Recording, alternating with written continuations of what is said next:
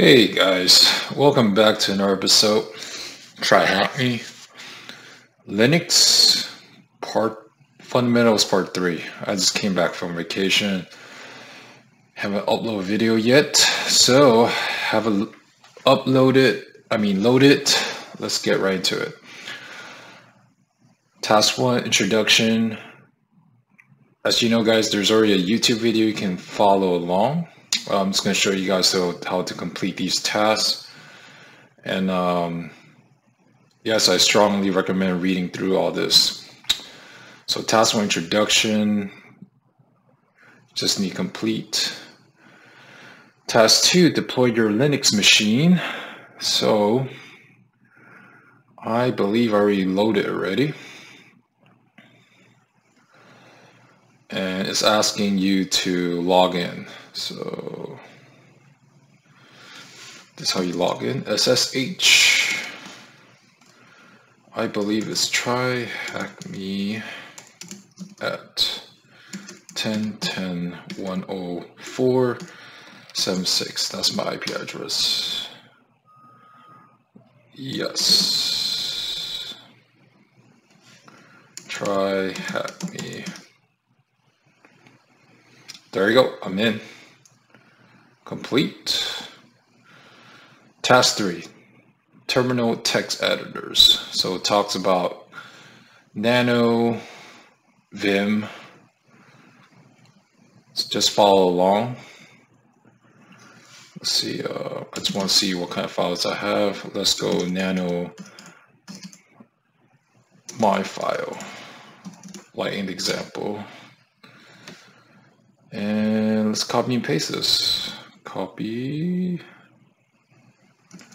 paste this first, then right click, paste, exit and save, yes, my file. Alright, talks about Nano creating a file, then talks about VIM, you don't have to do this right now, it's just more advanced version of a text editor. And it says ask your questions below, create a file using Nano, did that. Then it says edit task 3 located in try hackme's home directory using nano. What is the flag? So there's task 3. You can just cat task 3. And there you go. Cool. All right, now task 4 general useful utilities. So this tab talks about downloading file, files in Linux, transferring file. So transferring SCP and downloading is WGET, wget.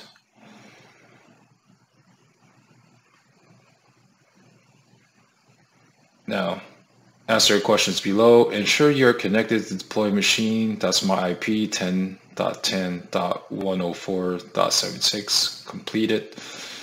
Now it says now use Python 3 HTTP server module to start a web server in the home directory of the TryHackMe user on the deploy instance. Hint, use this one, Python 3-m HTTP server. So it is following this along. So Let's try this. I think mine's is lagging. Oh, there you go. So Python 3-m HTTP server. Okay. Complete it. It says download the file this link right here onto the try hack me attack box. What are the contents? Use WG it's a hidden file, so do not forget the period in .flag.txt when downloading and catting. So right here what I do is I open a tab and use the W command right on this example. So W you could type it in or just copy, use the clipboard, clear it, paste, and paste again. Okay, this looks like it's good. 200, okay. Download. Alrighty. Now let me see. Is it on this one? No, it's not.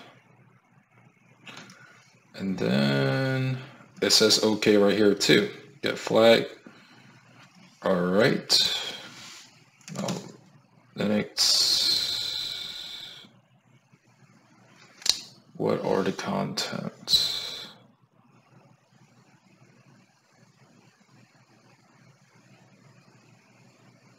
Oh, let's see, this, it's hidden.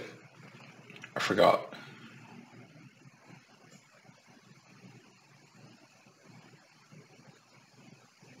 Is it right here? Mm, or is it here? Sorry guys, I forgot. right here, dot flag. So cat dot flag txt. There you go. That's the answer.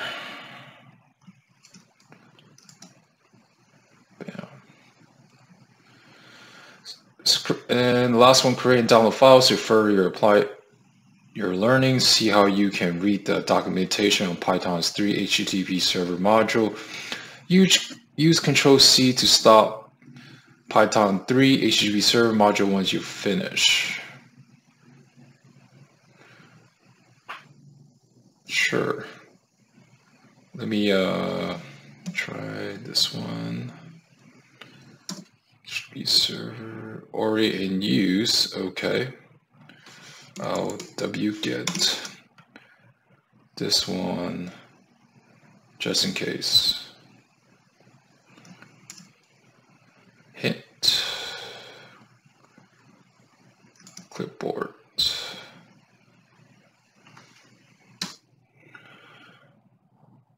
Let's okay again, this should be the same. It says control C. Yeah. Okay, complete.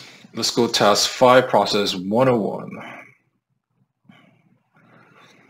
So it talks about viewing process, the PS, managing process, getting process how to start and stop, and introduction to background and for background in Linux. So just different commands. So it says readme. I do strongly recommend to read it to understand the fundamentals. It says we were Next question, we were to launch a process where the previous was 300. What would the ID of this new process be? So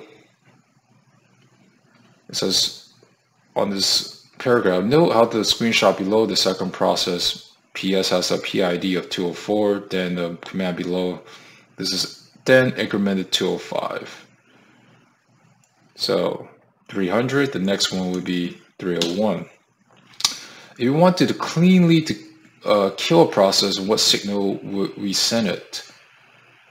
So as you read through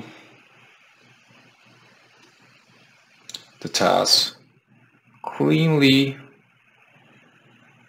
cleanup. So signal kill kill the process, but allow it to do some cleanup tasks beforehand. So SIGTERM. Copy and paste. Boom. Locate the process that is running on the deploy instance 10.10 10.10.104.76 what flag is given. Hint. Use ps aux to list all the running processes. We're looking for a process that seems out of ordinary. Okay, so I'm gonna put this in full mode to get a clear picture. So PS, here we go. Just like example, PS is to list all the process. It says look out of ordinary. As you go down, try to see what's different. Look, as you kind of notice the try me answers, it's pretty much this one. Awesome. What command would we use to stop the service, my service? Hint, system M control option service. Copy and paste that. As you read the paragraph, it's talking about the four options right here. So you can just copy and paste option says stop service, stop my service. Awesome. Next question, what command will we use to start the same service on the boot up of the system? Again, you go back up here, you either start or enable, and I believe it's enable. So again, copy and paste, start the same service, so it's enable my service. Awesome. What command we use to bring a previous backgrounded process back to the foreground? So the keywords foreground, as you read through this, we can use FG to bring this back to focus like below and it's FG. All right, next task, task six, maintaining your system automation. So this one talks about crontabs and talks about special file with time formatting. And just for this answering questions below, ensure you're connected to the deploy instance and look at the running crontabs hint crontab E. So crontab E. All right. When will the crontab on deploy instance 10.10.104.76 run? Hit again, take a look at the position and the value within the appropriate column. Now, as you read through it, it's talking about this at reboot.